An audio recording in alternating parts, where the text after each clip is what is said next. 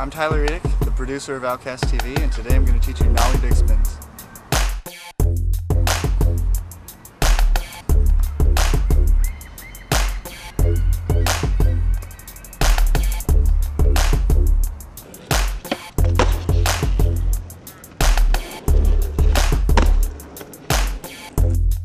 Okay, for the nollie big spin, you're going to want to put your front foot in the pocket of the board, right in the front, and you're going to put your back foot somewhere in the middle, um, somewhere near the bolts, just kind of with your toes hanging off.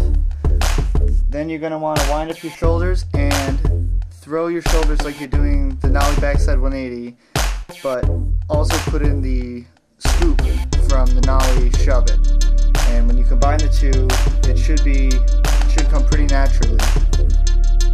And you land, bolts as best you can, and you roll away, and that's the nollie big spin practice it a lot and you'll get it.